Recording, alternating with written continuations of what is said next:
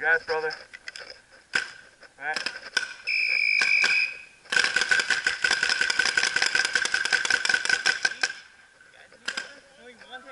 How did we get the shoe?